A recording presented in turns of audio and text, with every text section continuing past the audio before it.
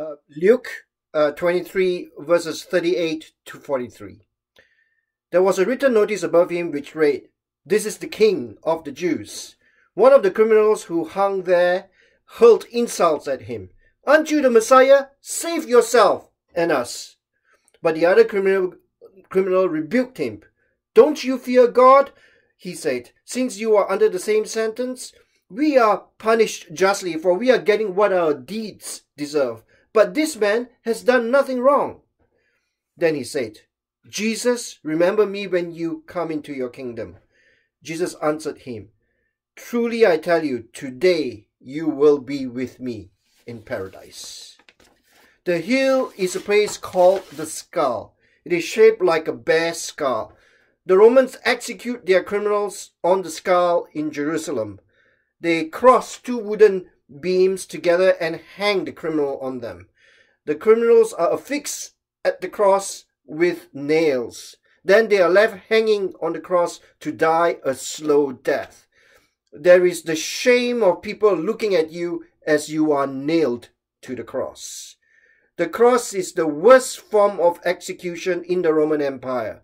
It is reserved for insurrectionists and hardcore criminals. There are three men on the crosses on this hill one sunny morning just after the Jewish Passover in AD 30.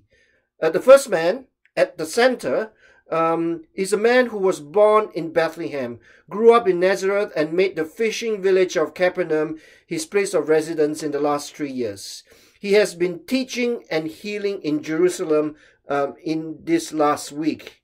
He came into Jerusalem riding on a donkey. People put their cloaks and palm branches on the ground for him. He then creates a scene by chasing out the merchants uh, out of the temple courts. You could sense that there was tension between the Jewish religious leaders and this man in Jerusalem in the last week. Uh, this first man has been through a night of turmoil. He was praying with his followers at the Garden of Gethsemane in the Mount of Olives last night.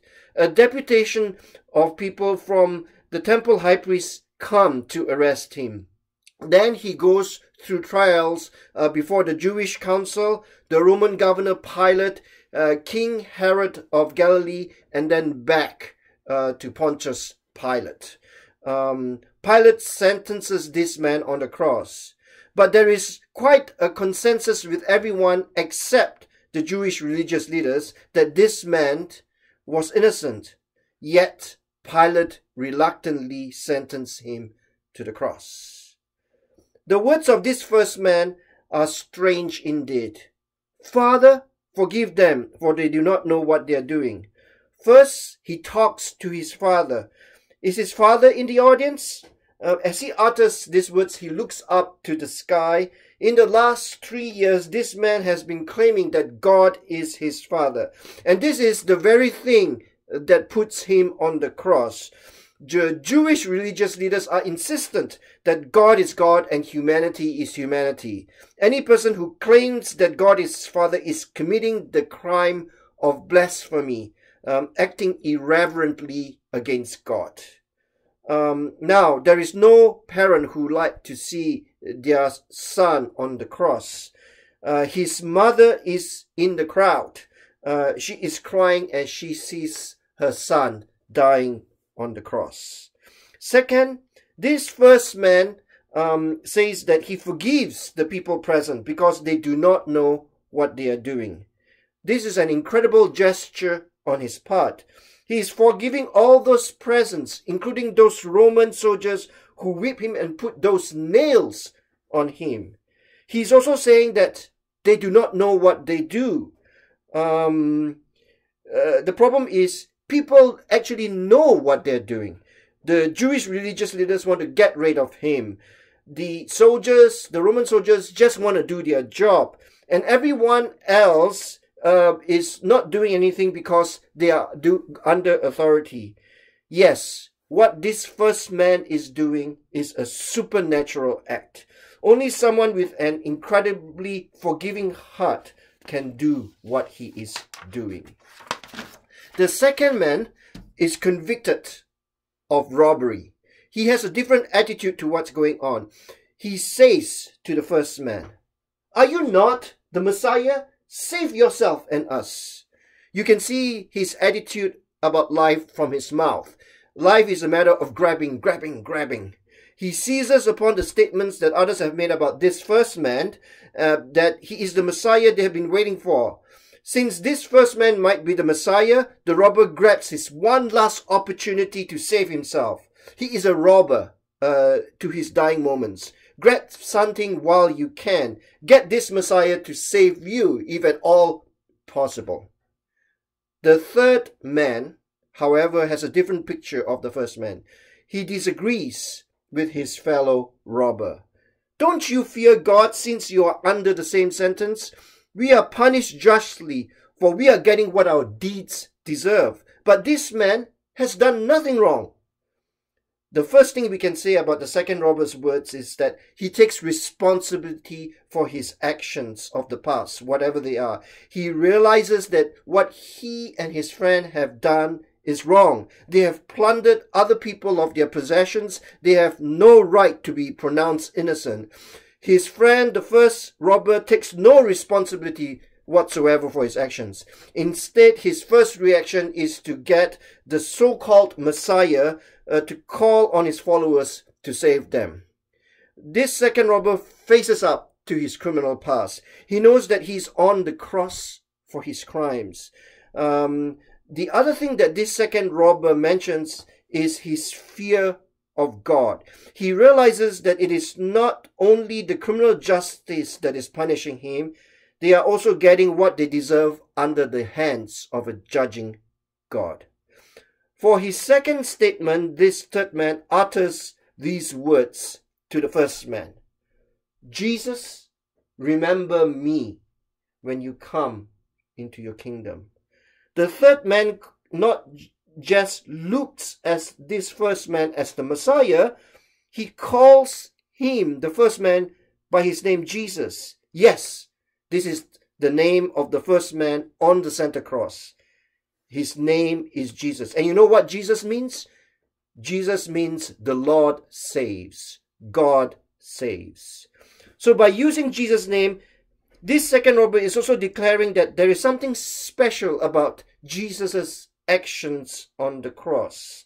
Um, somehow, Jesus is going to establish his kingdom through his actions on the cross. And so, therefore, he asks Jesus to remember him when Jesus goes into his kingdom.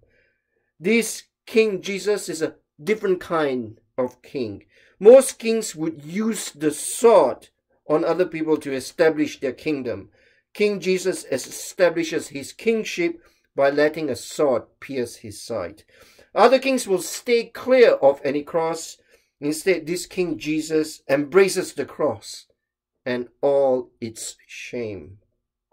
So Jesus says to the second robber, Truly I tell you, today you will be with me in paradise.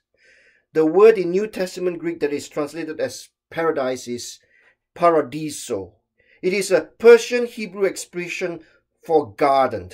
Bible scholars tell us that it is a reference to uh, to the expression of all things beautiful um, as to what creation was meant to be. The picture of the garden in Genesis chapter 2 before the human being fell. Jesus, when he mentions paradiso, Jesus is referring to God's garden. Somehow, after today's events, the second robber and Jesus are going to God's garden. And I believe this second robber is the first person in the New Testament to express faith and trust in Jesus. God saves. That's what his name means. As a result, Jesus ushers him into God's garden. God has been working on his garden for an eternity. Good Friday is the pivotal point of God's gardening. In April 2004, Marine Corporal Jason Dunham led a patrol in an Iraqi town near the Syrian border. the patrol stopped a convoy of cars leaving the scene of an attack on a marine convoy. An occupant of one of the cars attacked Dunham and the two fought hand to hand. As they fought, Dunham yelled to his marines, No! No! Watch his hand! The attacker then dropped a grenade.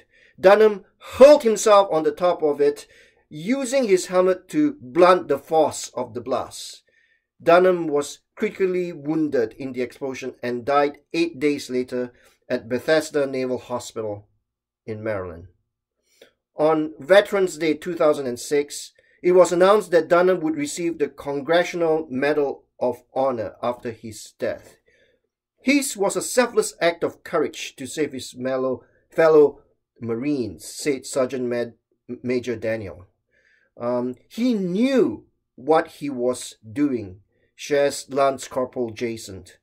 He wanted to save Marines' lives from that granite, uh, from that granite. Um, in various media accounts, fellow Marines told how Dunham had extended his enlistment shortly before he died, so he could help his fellow comrades. We told him he was crazy for coming out here, said Lance Corporal Mark. He decided to come out here to fight with us. All he wanted was to make sure his boys made it back home. And his boys did make it back home because of his sacrifice. In some ways, his death shouldn't have happened, yet it happened. Like the death of Jesus, it saved some lives.